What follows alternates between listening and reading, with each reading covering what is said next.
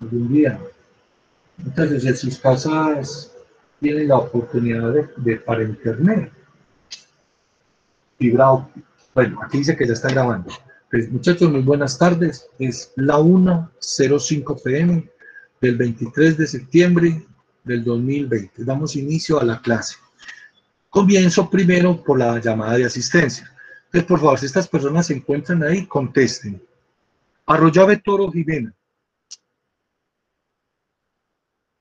Echavarría David, Angie Carolina.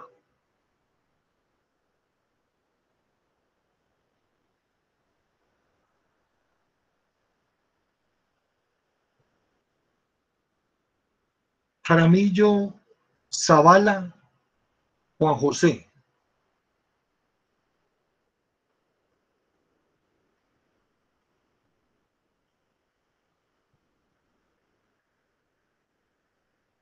Ramírez Molina, Daniel Santiago.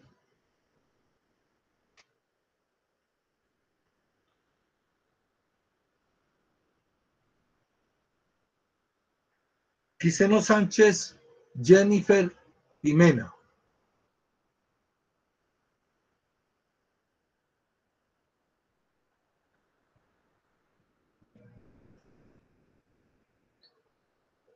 Listo, ya le coloqué que está aquí en clase. Muy bien. A la una y media vuelvo y asisto. Bueno, las instrucciones. Ahora sí, vámonos para la clase. Que, bueno. qué pena, te pregunté, tú me llamaste a mí. Yo Sí, sí. Sí, hace rato. Listo, profe. Bueno, entonces vámonos para la presentación del trabajo de hoy. Bueno, entonces vamos a empezar. Uy, ¿qué pasó aquí? Ve... Bueno, no importa. Les comparto. Voy para Classroom. Voy a compartir la pestaña. Bueno, muchachos, este videito lo mandan del colegio, la parte administrativa, señor Sergio Cano. Eh, yo ahorita que estuve mirando, mm, eh, no vi que tuviera como el sonido, pero no importa. Vamos a mirar a ver. Vamos a mirar si sea en silencio.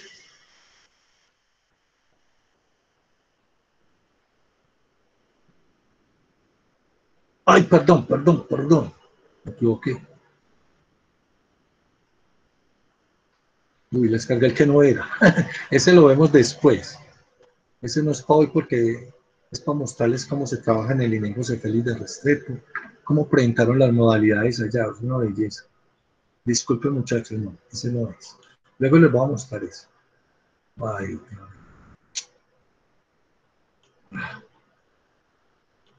bueno. Puede que se salió.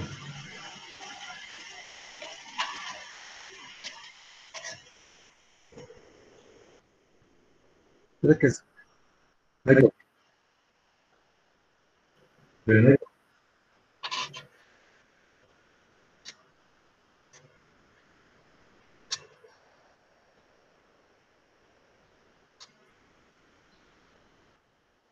No. Esto porque está con, con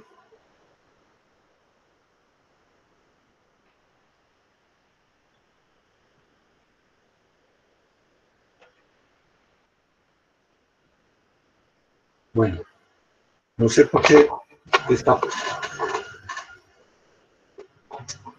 Bueno.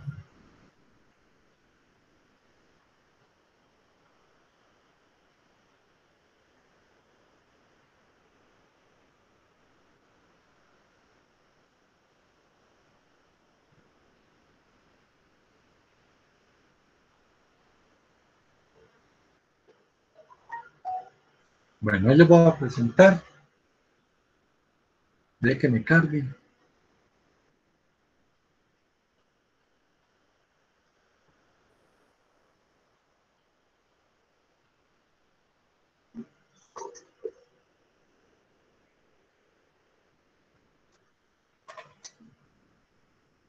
Bueno, vamos a dejar de vamos a ver si unos días pensaremos sobre este video. Bueno, muchachos, Este es el videito que te manda Sergio para compartirlo. No creo que tenga sonido. Yo no le escuché el sonido, pero bueno. ¿Lo has Así tiene. pensado? Si has pensado en no continuar estudiando, no lo hagas. Esta es una situación difícil para todos, pero con esfuerzo podrás... Entonces escucha. Recuerda que estás construyendo tu futuro y tu preparación y formación académica hacen parte de este proceso. Si has pensado en quedarte durmiendo todo el día... Escucha. Aló. que me conteste. Sí. Aló. Sí, sí. Escuchan el audio. Profe. Muchachos, Sí. escuchan el audio. Aló. ¿Escuchan? Sí, ah, bueno. Mm, bueno.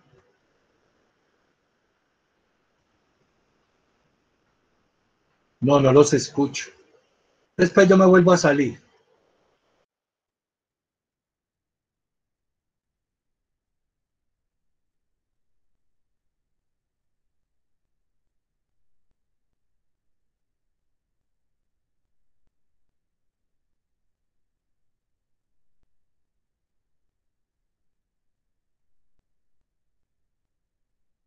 ¿Me escuchan ya, por favor? Ah, bueno, listo. Sí, profe. Gracias. Problemas técnicos hoy. Bueno, ahora sí les voy a colocar el videito. Si tiene audio.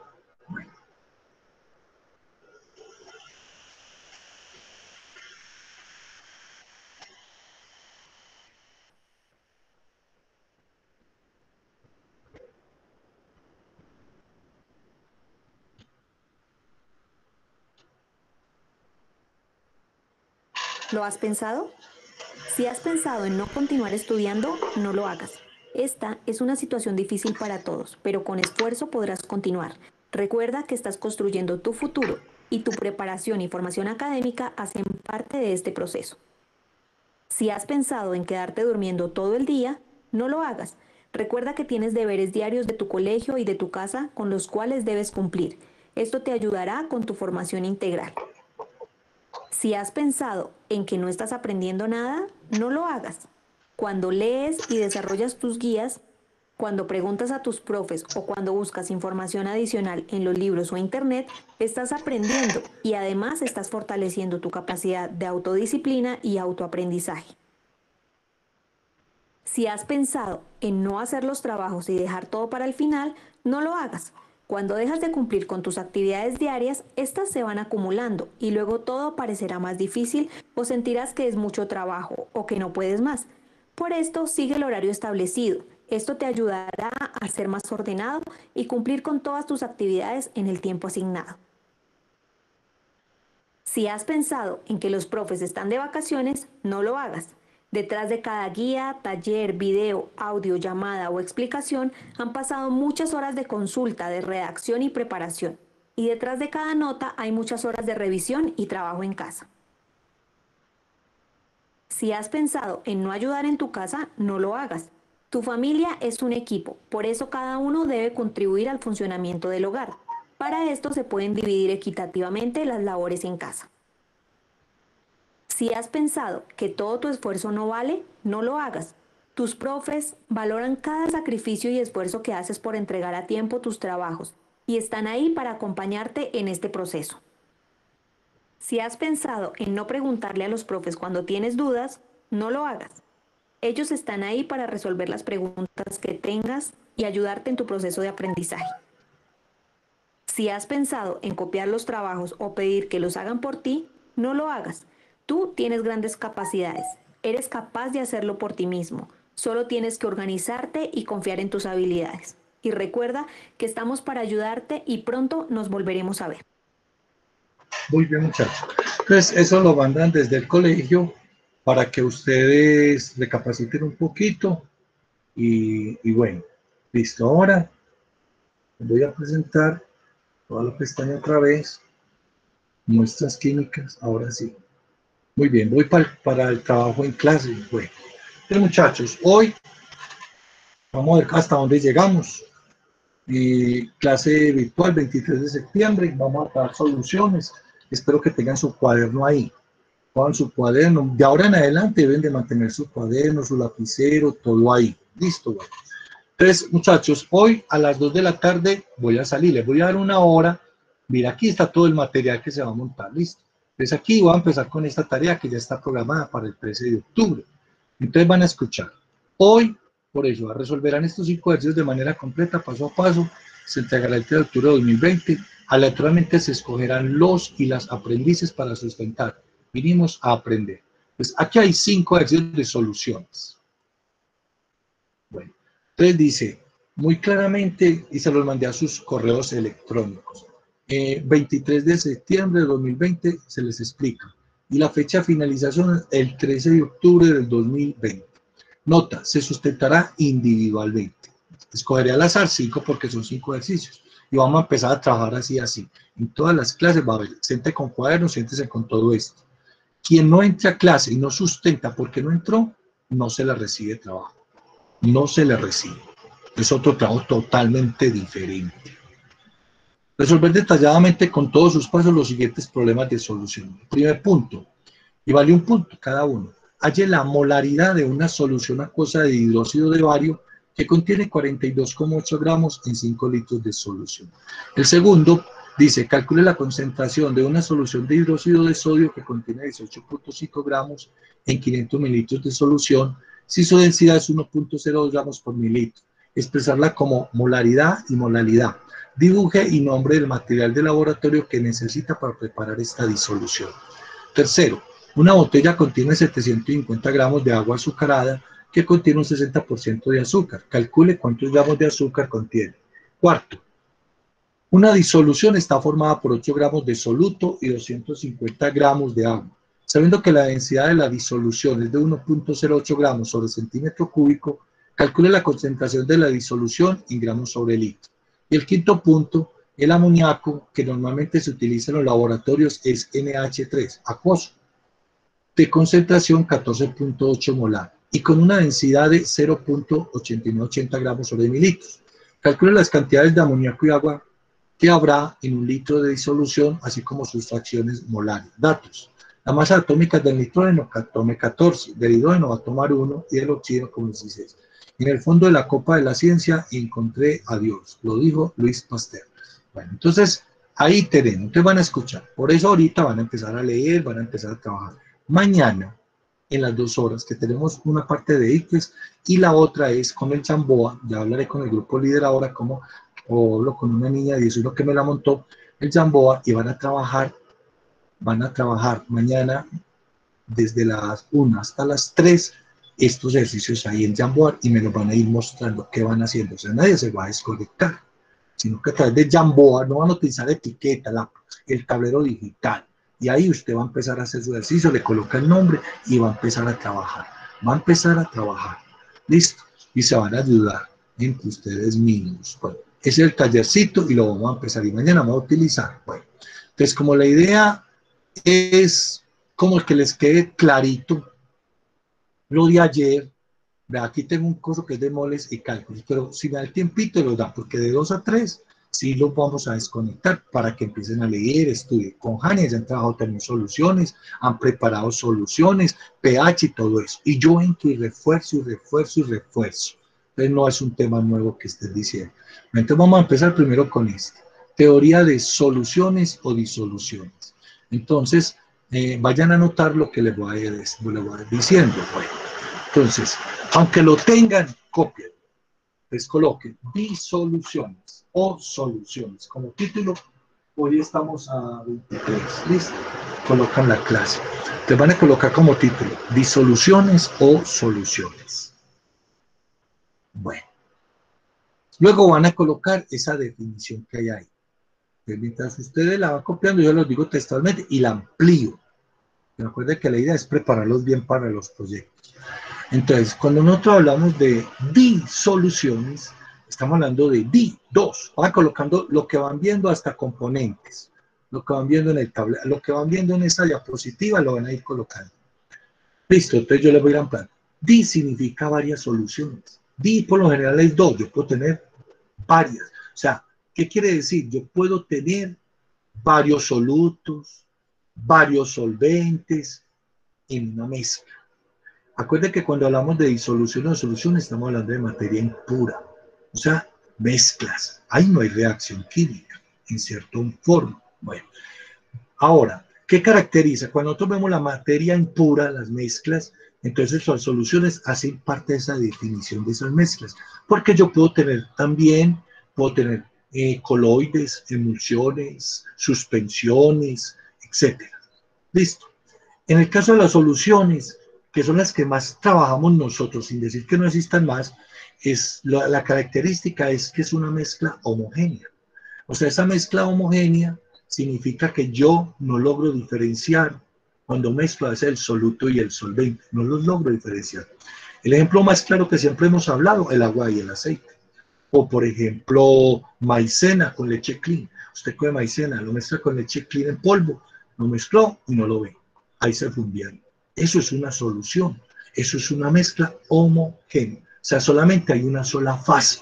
Una fase. Usted no la logra distinguir. Dice que la composición es constante. O sea, ¿qué significa la composición? De lo que está hecho. O sea, de lo que está hecho, del azúcar, del agua, lo, lo que la sal, el carbonato de calcio, cualquier de esas sustancias. Ahí está. Hago un paréntesis acá. Mañana, que van a empezar con el Jamboa, mañana, y van a empezar a traer los ejercicios de solución, lo primero por donde van a empezar es en cada ejercicio colocando la nomenclatura de las sustancias datos conocidos, los datos desconocidos, datos conocidos, datos desconocidos, y las fórmulas que tienen ahí con el nombre químico. Ahora busquen todo el material para mañana que tienen, tienen Classroom, tienen documentos que les he mandado, tienen cuadernos, y esas las dos horas. Ustedes mañana las horas van a trabajar. Yo solamente hablo una partecita de pre-IFES y listo, y de ahí para allá son ustedes. ¿Por qué? Porque yo estoy acá conectado, pero con otro computador estoy en una capacitación. La orden es, no, no, mm, si usted los desconecta, esos muchachos no van a hacer nada. Los deja conectados y usted nos está escuchando por la conferencia y ellos están conectados ahí. No, usted está concentrado en lo suyo y ellos también. Usted está dando esto y ellos están dando esto y listo, ya. Y al finalizar, ellos mandan, o sea, que se graba esa evidencia. El Jamboard permite grabar lo que ustedes van haciendo en su tablero digital. Listo. Bueno, entonces sí, esa composición que es constante quiere decir que, por ejemplo, cuando yo cojo una muestra de agua que tiene alcohol, yo puedo, medir, yo puedo sacar cantidad arriba, en el medio y abajo. Si esa mezcla es homogénea, en cualquier parte debe ser representativa. Debe de decir lo mismo que hay. Por eso dice entre paréntesis, no varían sus componentes. Todo lo que ven textual lo copian ustedes. Entonces, mírelo como le estoy explicando para que aprenda. Usted está copiando y me está escuchando. Yo ya le leo textual y le complemento. Es donde usted va aprendiendo la parte visual y la parte auditiva. No varían sus componentes. ¿Cómo así? Quiere decir que en cualquier parte, en esa mezcla homogénea, que está mezclada por agua, alcohol, cualquier sustancias químicas, pueden ser un soluto y un solvente, dos solutos y un solvente, un soluto y tres solventes. En cualquier parte que se mire, tiene que ser igual. Vamos a un ejemplo, el gel antibacterial el gel antibacterial ahora que estamos de moda, o el, o el alcohol glicerinado. ¿Listo? ¿Qué quiere decir? Que si yo saco una, saco una muestra, saco un poquito, por ejemplo, como es una sustancia viscosa o líquida, cojo un, gotero. Entonces saco y esa muestra que saque arriba debe ser la misma composición en la mitad y al final. Por eso acuérdense que en las soluciones se habla de suspensiones también, de emulsiones, porque hay sustancias que están al dejarse quietas, ¿qué pasa? Se precipitan cuando tienen un sólido y un líquido. Se dejan reposo y se va al fondo el sólido.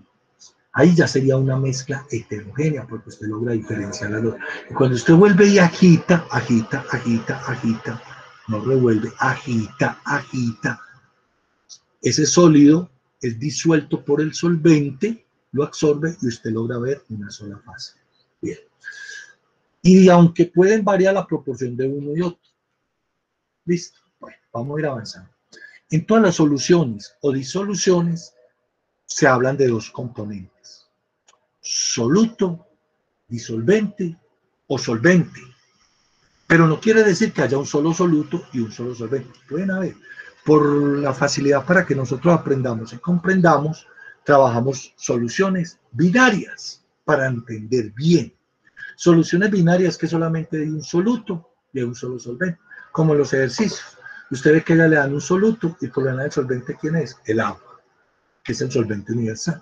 Lo otro que necesito que les quede muy claro es que solvente se habla cuando es el agua, como solvente universal en las sustancias inorgánicas.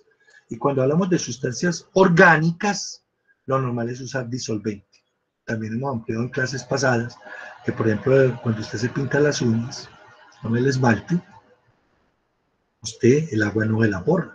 Entonces, y usted se echa agua y ahí sigue el esmalte, sigue su color. Por eso se usa acetona, tiner, en fin. ¿Para qué? Para poder remover. Esos solventes, en este caso, disolventes orgánicos. Dice del soluto, el componente en menor proporción, el que esté en menor cantidad. Disolvente, componente en mayor proporción. Pero mire lo que dice acá. Si son disoluciones acuosas, o sea, con agua, el agua siempre será el disolvente. Esos dos parrafitos que están diciendo, eso usted lo va a aplicar cuando tenga esa mesa. Pero pone usted vea que digan que hay agua, usted inmediatamente, ese es el solvente, así está en pocas cantidades. Usted tiene 500 gramos de azúcar y tiene 10 mililitros de agua. Se aplica el concepto que usted estaría diciendo que el soluto, el agua, y que el solvente, el azúcar. Grave error. Por eso hay que escuchar y copiar bien. No. Así hayan 500 gramos de azúcar, pero el hecho de que haya 10 mililitros de agua, o 10 gramos de agua, porque acorde la densidad del agua es un gramo es igual a un mililitro, automáticamente usted dice, ah, el solvente es el agua. Así este poquito. Listo. Por eso la sección. Bueno, el cuadro que acaban de hacer ahí en su cuaderno dice soluto más disolvente igual disolución. En palabras, soluto. Cuando yo tengo un soluto y lo disuelvo en un disolvente o en un solvente, los dos muy que forman una solución, una disolución. Por eso hay que leer muy bien las fórmulas que se expresan física y químicamente en las soluciones. Tienen que tener mucho cuidado en ese aspecto. ¿Cómo que mucho cuidado? Sí, porque hay fórmulas que, por ejemplo, dice arriba masa del soluto y abajo puede decir volumen del solvente o volumen de la solución o masa del solvente o la masa de la solución y no lo mismo. Entonces, cuando hablamos de como de disolución o solución, estamos hablando que la suma de dos. Lo otro que hay que tener mucho cuidado es que yo no puedo sumar cosas que no sean homogéneas. ¿Qué quiero decir? Yo no puedo sumar un gramo de X sustancia con 10 litros o 10 mililitros de otra sustancia. Masa y volumen no son homogéneos. Masa es cantidad.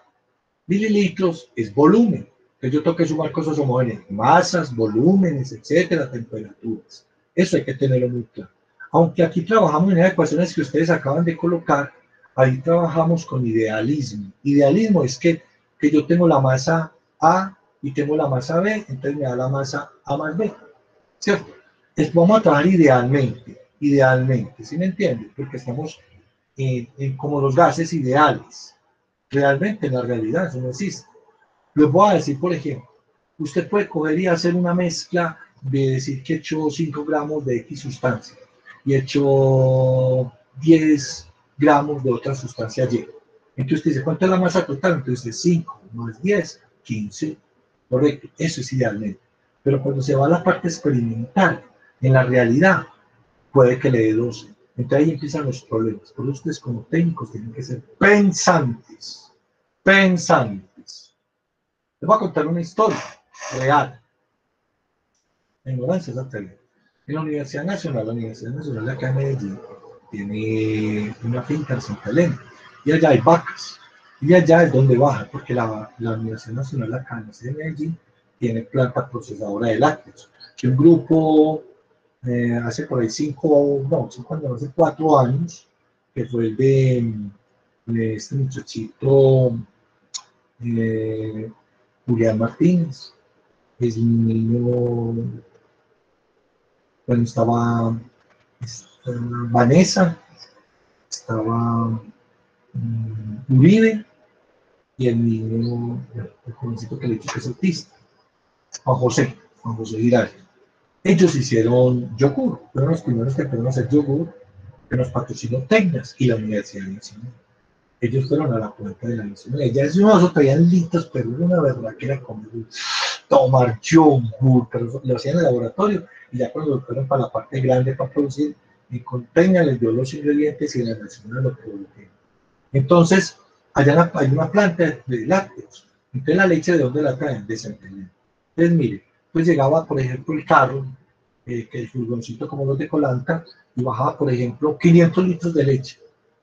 Cuando bajaba y llegaba a la Universidad Nacional, pues la descargaban, habían 450 litros. Claro, la investigación. Ah, no, esos conductores se robaron 50 litros de leche, seguro que en el trayecto, bajando por Santa Elena, seguro lo dejaron en la sierra, o en el 8 de marzo, en Juan Pablo, o en Buenos Aires. En el trayecto se robaron 50 litros de leche. Y la gente casi pierde el trabajo. ¿Por qué? Porque claro, si a, si a, mí me echan en un tanque 500 litros, pues tiene que llegar 500 litros. Bueno, pero para eso la universidad tiene los ingenieros, tiene la gente que estudia, los técnicos, los que saben, ¿cierto? Pues un administrador de empresas no entiende nada de eso, por eso puede juzgar mal, por eso zapatera tus zapatos. Cuando hicieron la investigación, hicieron la investigación, porque yo estaba yo estudiante, entonces hicieron el recorrido, a ver qué es lo que pasaba, pagaron los 500 litros, en la mañana, el carro llegaba a las 3, 4 de la tarde a la planta de procesamiento de lácteos, y, cuando, y te mire que hubo un seguimiento, y se dieron cuenta que sí, llegaban 450 litros. ¿Sabe por qué? Porque lo ideal no existe. ¿Dónde estaban esos 50 litros que se perdían? Muchachos, primero, eh, esos, esos carros tanques son en aluminio, y en el trayecto hay frío y hay calor. Cuando llegaba a la Nacional, el carro no llegaba directamente a, a, descargar.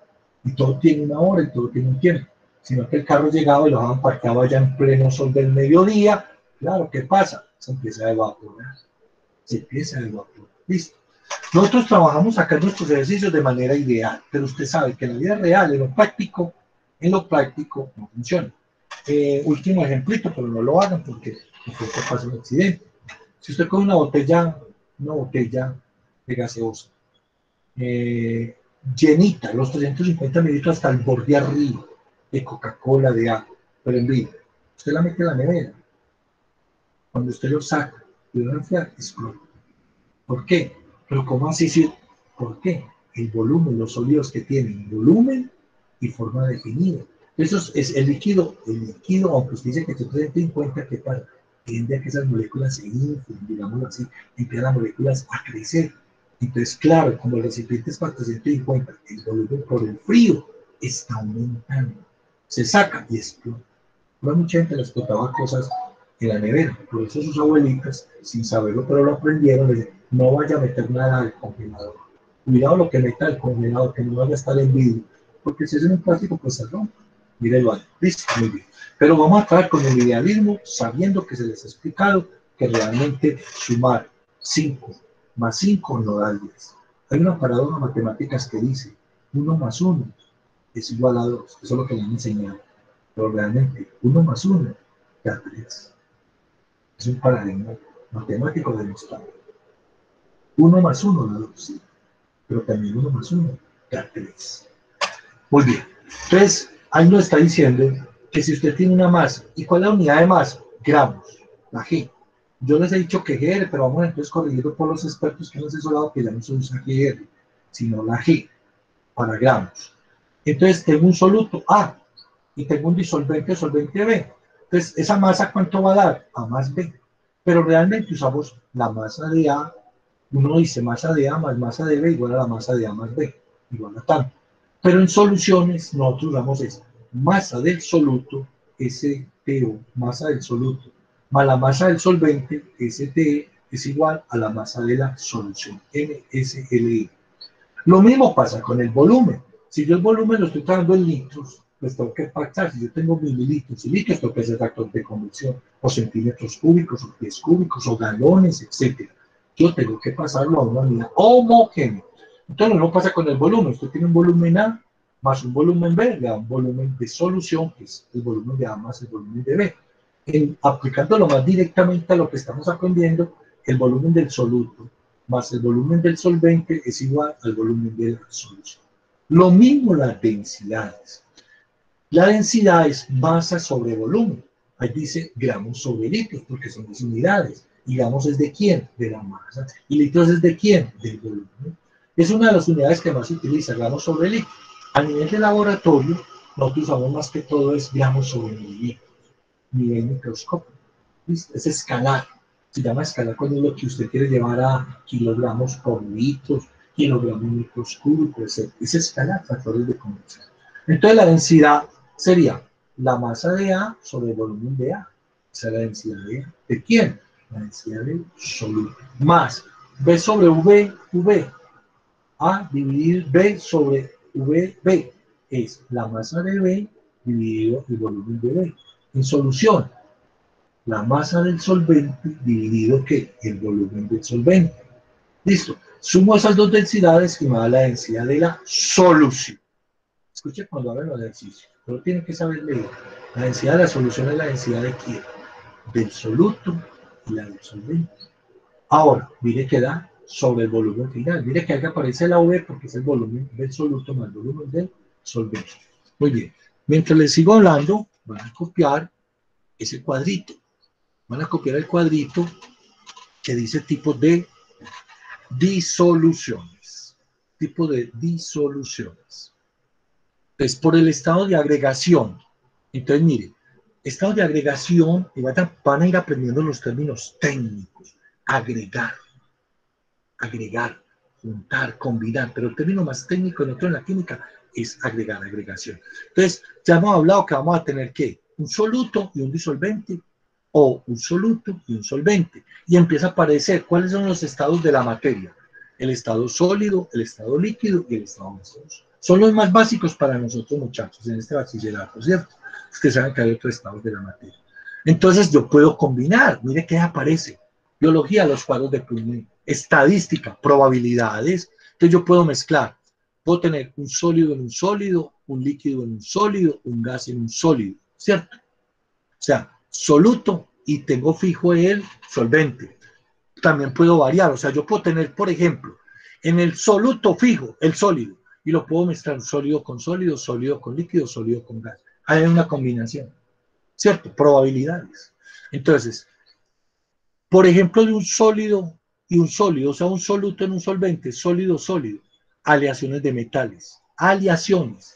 Cuando nosotros vimos enlaces químicos, que no es una unidad nueva de ustedes, eso lo ven desde abajo, que saben que los enlaces químicos es, lo que hace que, que el hidrógeno, dos átomos de hidrógeno se puedan unir con el oxígeno a través de enlaces químicos que pueden ser iónicos, covalentes o metálicos y forman la molécula del agua. ¿cierto? Que una sustancia se forme.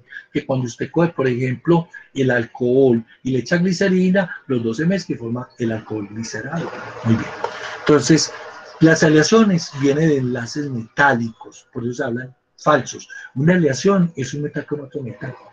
Listo. La más común, la amalgama, la de la dentadura. Entonces, tenemos, por ejemplo, los aceros, las fundiciones, por tener, por ejemplo, bronce, las amalgamas, Listo. Ahora, voy a combinar ese sólido que es el soluto fijo, lo voy a meter en un líquido. Un sólido en un líquido, el agua de mar. ¿Cómo decimos? Ay, el agua de mar. ¿Cómo es el agua de mar? Salada, salada. Y cuando estamos diciendo salada, ¿qué estamos diciendo de salada? Agua y sal, por eso el agua es salina. Muy bien. Tenemos también a veces en el grifo. El agua, mire, en el grifo a veces tenemos sólido, por eso a veces sale como con tierra, o sale pepitas, cosas raras que yo veo esta agua porque no está toda líquida, líquida, esto tan raro, y van aprendiendo. Y un sólido como soluto en un gas, el humo, el humo, el humo. ¿Listo? Bueno, muy bien, ahora voy a, voy a dar fijo como soluto el líquido y lo meto en un sólido. En un ejemplo, las amalgamas, mercurio más metal el mercurio más un metal. Listo. Eh, un líquido de lo líquido, el alcohol acuoso, AC o AQ, o sea, alcohol en agua. un líquido como soluto en un gas? La niebla. La niebla. La niebla. Y usted lo ve las farolas, cuando se va uno por ventanas, pega la costa en la mañana, y usted ve los zampas Santa usted ve esas neblinas. Bueno, ahora, como soluto fijo el gas en un sólido, el hidrógeno en estado gaseoso absorbido en un metano. Reacciones químicas. ¿Cierto? A veces ustedes ven que pone usted el hierrito, le echa un ácido, empieza a quemar el ácido y que se está desprendiendo hidrógeno. Un gas en un líquido, la legia. La legia es ese diablo rojo que utilizan muchas veces para, el, para la, los lavamanos, en los baños. El amoníaco en agua. Pero es peligroso. Por eso mire que el amoníaco usted llega y lo abre. Usted dice hay amoníaco y le pone las fosas nasales, ¡pum! Lo marea derecho para el cerebro, porque sale mismo inmediatamente reacciona. El oxígeno en agua, usted puede ver burbujitas. Ahora, un soluto gaseoso eh, en un gas, entonces tenemos el aire. ahí lo vimos, ahí ya copiaron ese cuadrito, lo tienen, bueno, muy bien. Muy bien. vamos a mirar por su concentración. Hagan ese dibujito. Bueno, único y fue pucho. Bueno. No importa. A las dos, va. Pregunte. Eh, me pasan un favor, ¿puedes por un poquito que me faltó copiar un rengloncito del cuadro? Ya probé, gracias. Bueno, ahí se los dejo. En todo caso, bueno, vamos a copiar. Entonces, muchachos, miren, ¿por qué los, a las dos nos vamos a desconectar? yo voy para una charla porque estoy en capacitación con MOVA, Secretaría de Educación. Eh, se llama Proyecto de Investigación desde la metodología virtual, porque toca asesorarlo a ustedes y por eso, por eso cualquiera no puede asesorar los proyectos de grado, no cualquiera, hay que tener estudios. Entonces a las dos sí me salgo, pero esa mañana no mandan así, están ustedes ahí y voy a anotar los ejercicios también en formulario, porque usted tiene que mostrar la evidencia, no lo que muchos están haciendo acá les dice unos conecte y se están a dormir, o se van a ver novelas, van a usar el viento, no. Qué pena, pero usted tiene que respetar el tiempo y trabajar durante el tiempo de clase. ¿Listo? Y, demostrar la evidencia, para evitar dificultades con sus padres que les creen a ustedes todo, porque no investigan. No son, la, no, son sus padres, no la generación de los padres, que escuchaban primero las versiones. Deme su versión, profesor, deme su versión, muéstreme sus pruebas y muéstreme sus pruebas. Y tomaban decisiones. ¿Listo? Entonces, por eso mañana. Entonces, ¿qué quiere decir? Que ahorita 2 a 3, ¿a usted qué le queda? Entrar, hay que en el Classroom y empiece a leer todo eso. Empiece a mirar, vaya mirando los ejercicios. Se va preparando para que mañana, en estas dos horitas, usted va a estar ahí, que va a estar conmigo una hora y la otra hora yo lo, no se me puede desconectar. Usted mandará la evidencia. Y vamos a empezar a trabajar. Aquí es el sistema socrático Muchachos, yo les voy aclarando mientras les explico. Yo trabajo muchas metodologías, la colaborativa, la cooperativa, trabajo escuela nueva, trabajo por, por, problemas. Hoy la educación es el que debe trabajar, es usted. Y el docente asesora. Asesora y corrige. Asesora y corrige. El sistema que ustedes estaban acostumbrados es de llenar un tablero y, y copien y copien y copien y copien. No, el sistema de muestras químicas es totalmente diferente. Y lo que se llama Flipper Classroom, Flipper Classroom, que es clase invertida. Clase invertida es, yo les doy todo el material, usted lo lee, se les pone el taller, usted lo desarrolla y luego en clase pregunte las dudas. Allá es que tenemos que llegar. Y estamos llegando porque ustedes ya llevan estando acá. Bueno, cuando yo, yo, cuando yo le estoy echando carrete a usted, es en el oído la vista suya y su mano está copiándome ese libro. Bueno, por su concentración.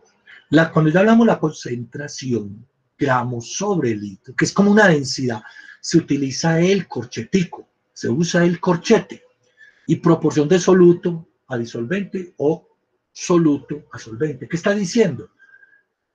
¿Qué cantidad de soluto voy a disolver?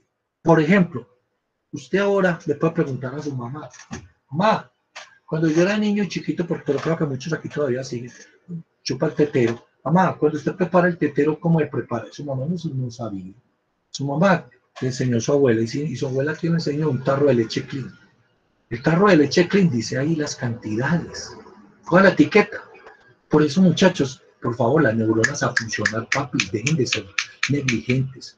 Espero tener ahora en noviembre mostrarles, ya los de ética les puse el video de Nos cogió la noche de un joven de 35 años de Argentina que dice que ustedes son la juventud imbécil, son la juventud idiota. Lo están manipulando para y para. Todos estos desastres, todo ese, es este. Jóvenes que salen a tirar cosas porque hay que protestar. Genial. Es un sociólogo de Argentina, muy conocido, y ya lo estoy mostrando a los de, once- a los de Onceos Penalítica de Valor y se lo vamos a mostrar a ustedes ya cuando avancemos todo esto para que piensen, por favor. Entonces, mire, usted no necesita aprender, porque todo se da. Ayer se los mostré con el primer ejercicio de prueba saber, se los mostré, mírenlo ahí. Listo. Y si usted coge el tarro de leche, usted tiene que coger, co- coger la leche clean, ahí dice ingredientes, composición, ¿cierto? Y luego dice preparación. ¿Y qué dice? Y dígale a mamá y verá. Que su mamá dice, ay mamá, ¿y usted dónde aprendió que, calentaba tanta agua, que medía tanta agua y que cuántas cucharaditas echaba? ¿Usted cómo sabe eso? Ah, mi amor, el tarro de leche en la etiqueta dice preparación y decía, por tantos mililitros de agua que se ponen a hervir, se echan dos cucharaditas de esta. Y si ustedes comieron leche todavía se la, se la gaminean, usted ve que esos tarros que traen una cucharita. Alguno de ustedes le ha dado por pesarla, por medir cuánto cabe en esa cucharita. Su abuelita, cuando dice, mira, coja una cucharita tintera, y usted que hay cuchara grande, hay una más pequeña y otra pequeñita, dice, coja la más pequeñita y eche dos goticas, se lo echa en el agua y se lo hijo. En cambio, usted con la, le dice, mamá, me está viendo el estómago, llega su abuelita y dice, mira, ¿cómo le preparó eso? Mamá, yo cogí dos cucharas de esto, ah, lo mataste, eran esta cucharita. Y sus abuelitas sí saben cantidades y no han estudiado, no conocieron el colegio, pero son empíricas. Esa es una persona empírica. Y ella sabe cuántas onzas caben en una cucharita pequeña, la mediana y en la grande. Empirismo. Usted no es empírico, por eso está estudiando. Entonces mírelo ahí. Listo. Eso es lo que está diciendo acá. Cuando dice ahí la proporción, está diciendo cuánto agregó de algo y de lo otro. Entonces resulta que en las soluciones, en las concentraciones, hablamos de soluciones diluidas, concentradas, saturadas y hay unas que son sobresaturadas. Y esto juega con qué? Ese término de dilución, concentrado, saturado y sobresaturado, a veces también se utiliza en las diluidas insaturadas. ¿cierto? Lo normal es que ustedes por allá en los grados inferiores les enseñaban las soluciones era insaturada, saturada y sobresaturada.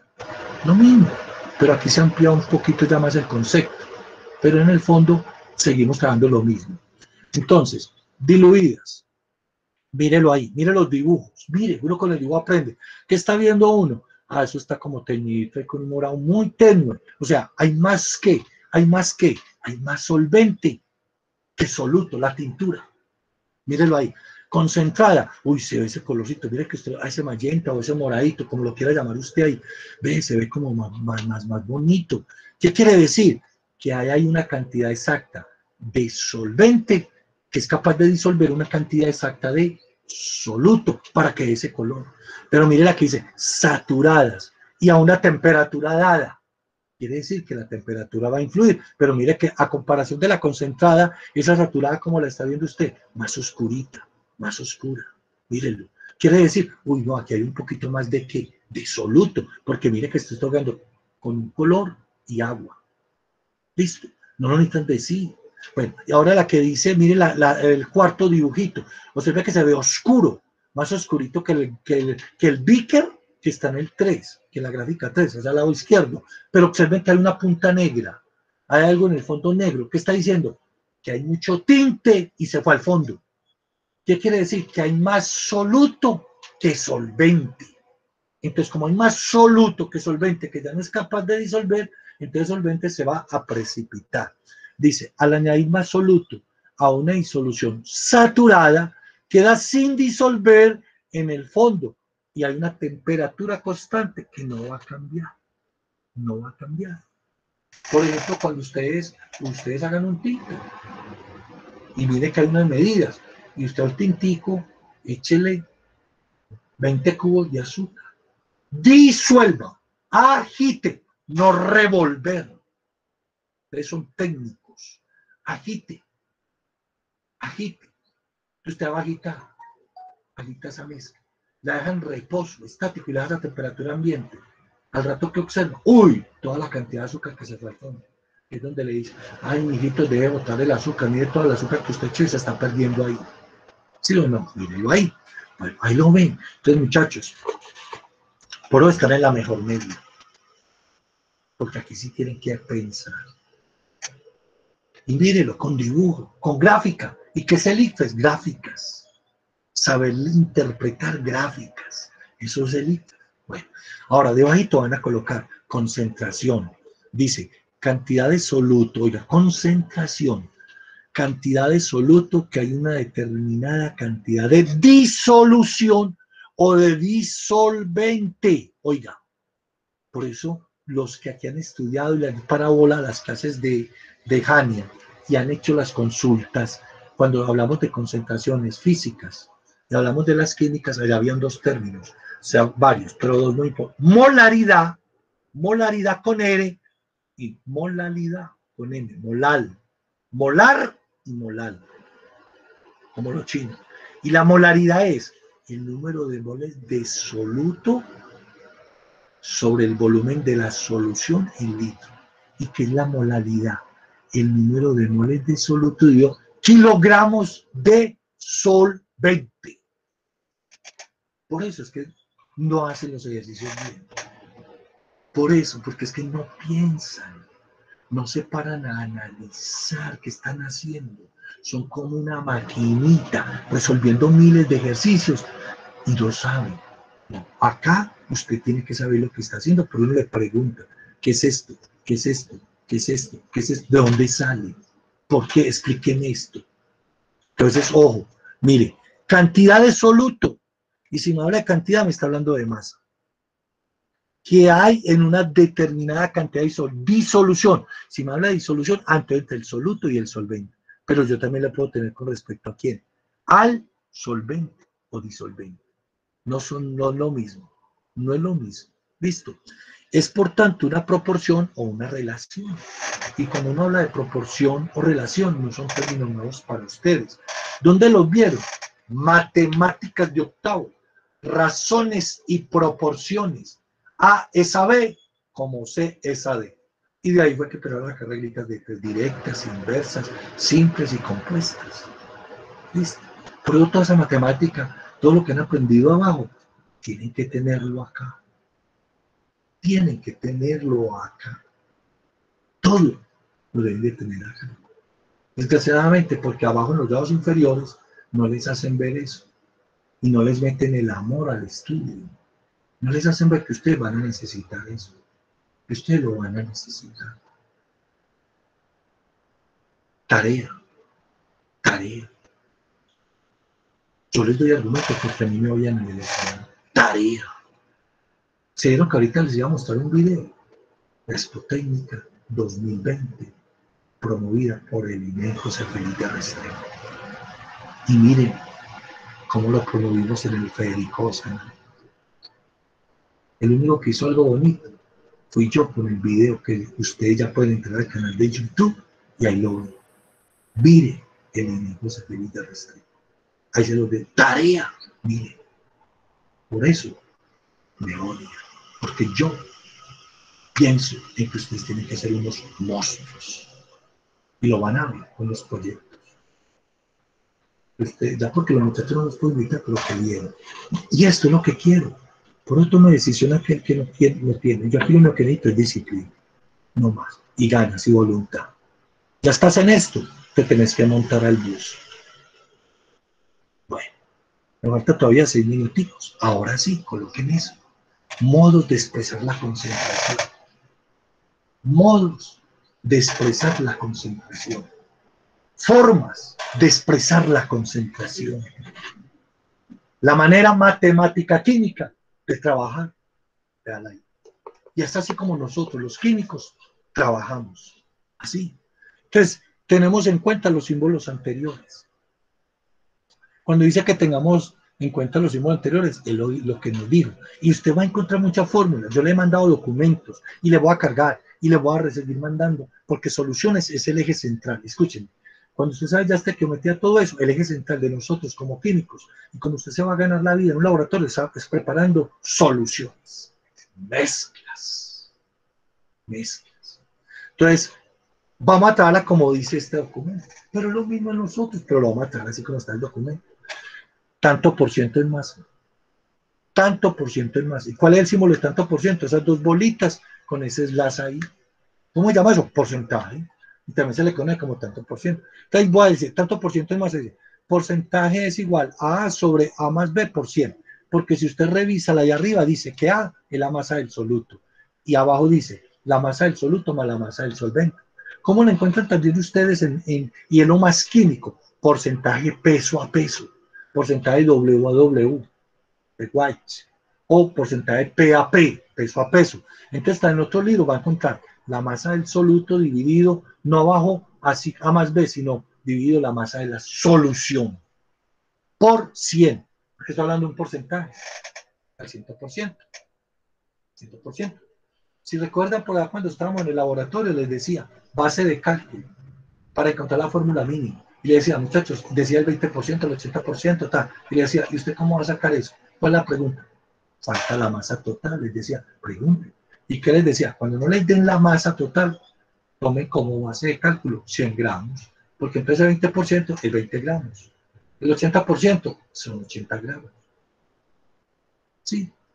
Pues, por eso, desde el primer día que entraron les dije, lo que hoy empiezan a aprender no lo boten a la basura, lo van a necesitar, lo van a necesitar. Usted no me puede botar la basura porque todo eso lo necesita.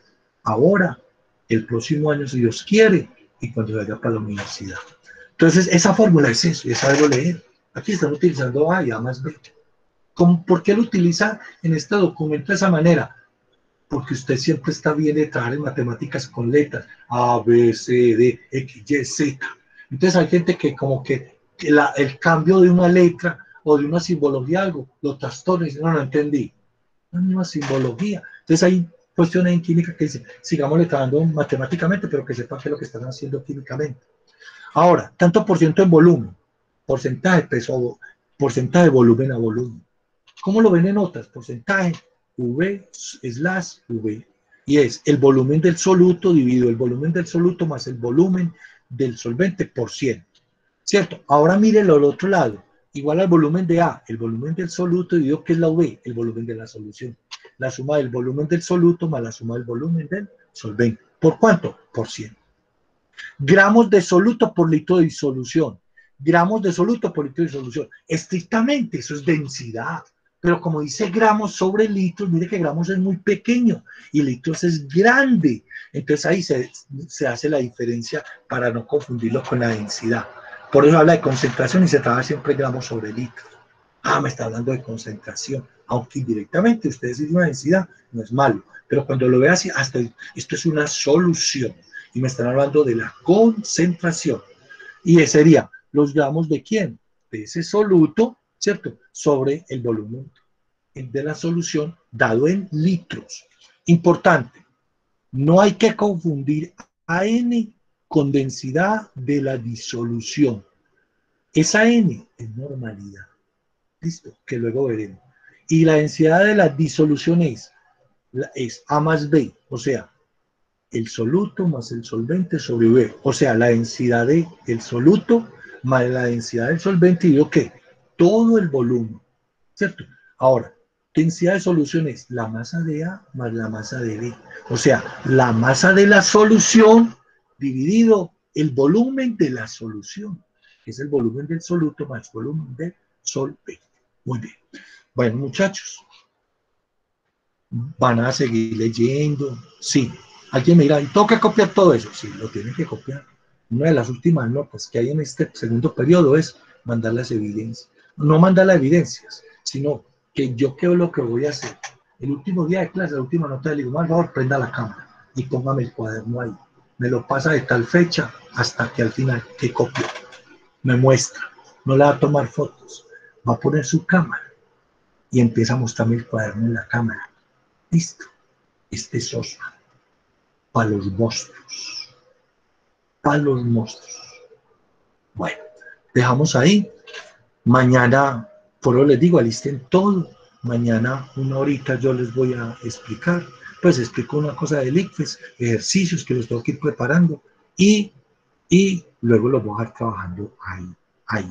Los dejo ahí trabajando y los voy a montar en formulario. Bueno, Dios los bendiga.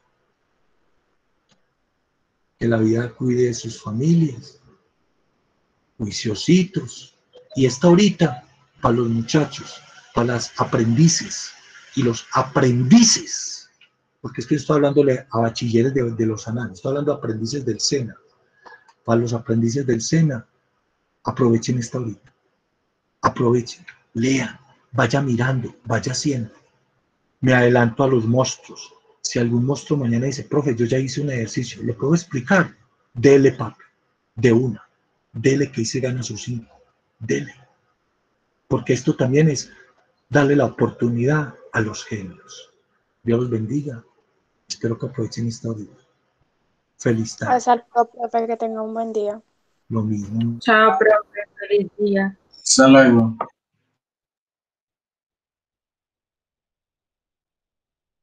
Profe,